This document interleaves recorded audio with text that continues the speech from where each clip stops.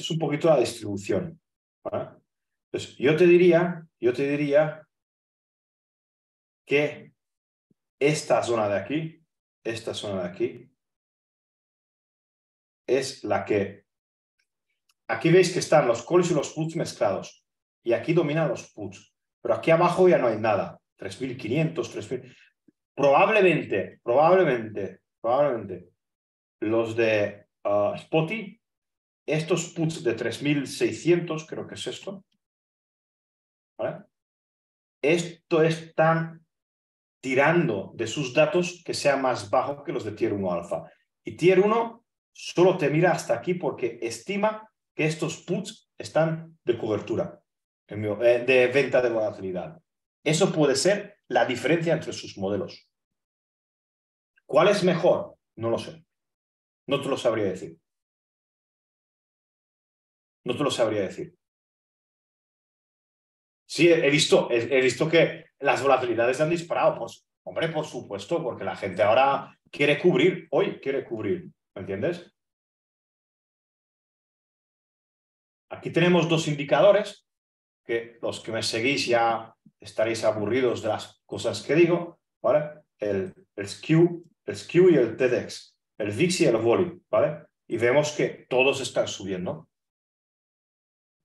Pues están subiendo porque la gente ahora se posiciona comprando puts de cara al dato de mañana. Entonces, lo que, lo que os he comentado, que lo que sí que es raro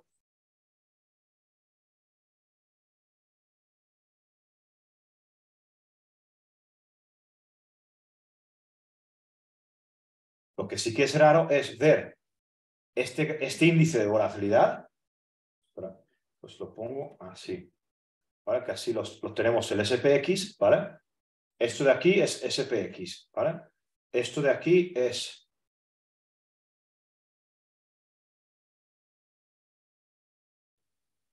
Esto es el, el volley, amarillo es volley y el, el tail dex. Y tío, ves, ves que todo, todo este mes, o los últimos dos meses, el riesgo de cola o el miedo del mercado ha estado en mínimos. Es decir, que la gente no ha comprado ningún tipo de, de, protección de cara a una caída. Miraros, miraros. Esto es desde el año 2019, ¿vale? Son estimaciones, por supuesto. Entonces, tú dices, mira dónde se ha ido la volatilidad. Eso es volatilidad de riesgo de cola. Tres desviaciones estándar. TS. Te, compara la volatilidad ATM con la volatilidad de 30 días de tres, tres desviaciones. Mínimos. ¿Por qué? Porque no quieren push. Pregunta, bueno, dice, pregunta Joebel, que no sé, eh, dice, si rompiésemos los 3.900 y el market maker tiene que vender futuros y cayera el SP, la zona objetivo más baja sería 3.750 y ahí habría parada. O sea, tras la rotura del 3.900, ¿cuál es la siguiente zona?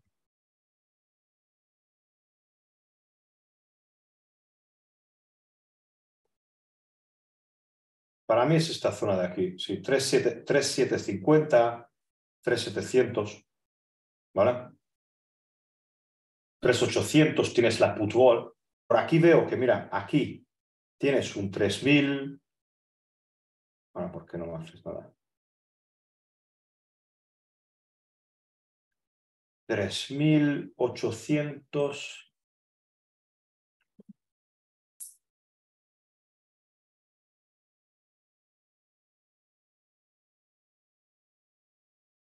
Entonces, esto para el viernes. Toda esta zona de aquí, 3.800, 3.750, 3.700, esto podría ser un buen objetivo. Pero ten en cuenta que es para viernes. Te quedan muy pocos días para que pase cualquier cosa, en el mercado.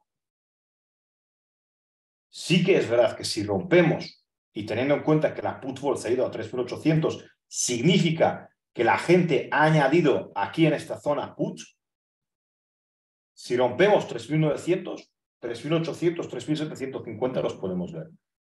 Vamos a ver qué ideas podríamos buscar para un movimiento de este tipo. Pues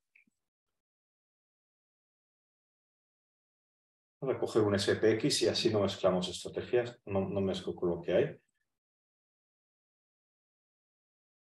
A ver, esto es, voy tres días. Yo, vencimientos anteriores, lo que a mí me gustaba es coger y hacer lo, lo típico de...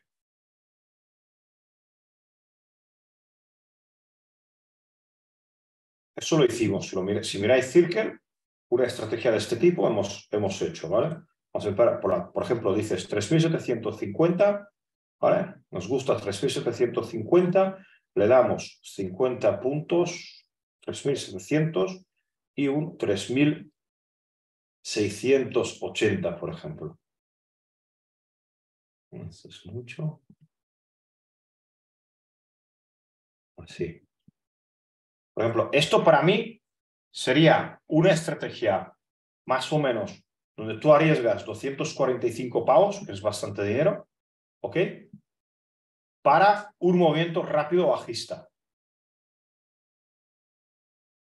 ¿Qué significa? Que tú aquí, si empieza a bajar el mercado, aunque nos planteamos en 3.900 o en 3.850, esa estrategia podría darte, pues, aquí es un 2 por, un 3, 3.775 te daría un, un 2 por te va a dar, aquí, en este punto.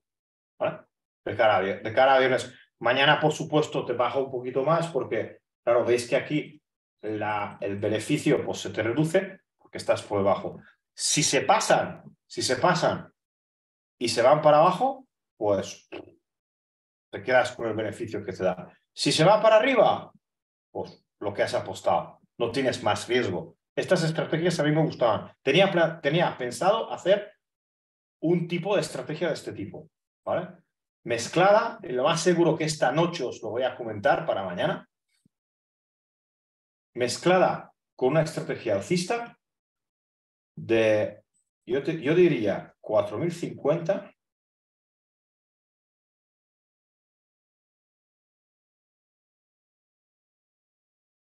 4.050.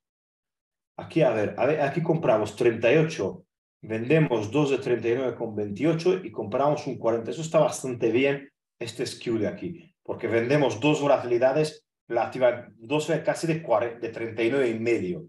Está bastante bien en la curva, ¿lo veis?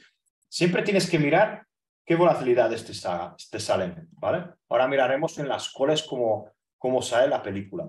Entonces, aquí 4050 para simplificarlo, vamos a ir también de, un, de 50 puntos, 4100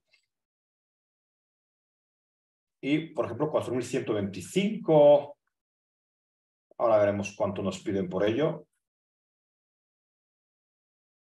7 puntos. Carísimo. Esto, tío.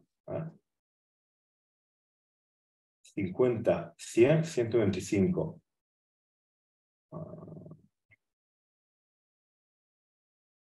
Y aquí lo tenéis, aquí lo tenéis 670, 48, 100 puntos, claro, porque estamos mucho, estamos mucho más cerca.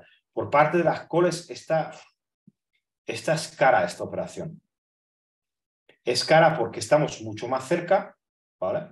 Estamos a 4.050, estamos a, ponle 100 puntos del SPX, 110 puntos, y en 750 estamos a 200 puntos del SPX. Por eso tenemos que pagar más por ella. Te podrías ir 4.050, hemos dicho 4.100. Podríamos intentar abaratarla yéndonos a, por ejemplo, 4.075, 150, no, 75, esos son muchos puntos. 50, 125. y, por ejemplo, 125, 150. A ver cuánto nos pide por esto. Poquito la baratas. Te subes 25 puntos, dejas otra vez de alas 25. Aquí puedes, pedir, puedes pagar un pelín más por, por la parte de arriba. Esto también es muy importante que cuando haces este tipo de mariposas, te cojas y te vas arriba